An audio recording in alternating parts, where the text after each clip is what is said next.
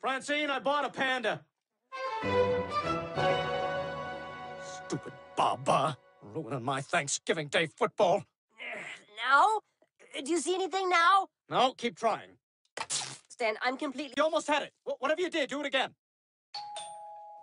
Nerd Squad, I'm Trevor. Your wife called, your TV's out. Oh, Roger, awesome.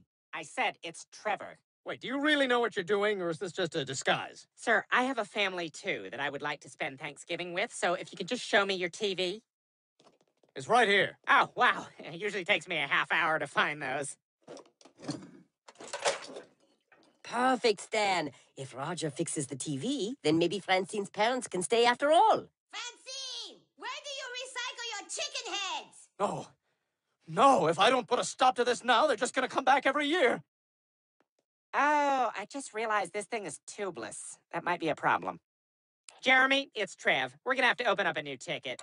Stan, why you pay good money? I could fix. You don't need to call.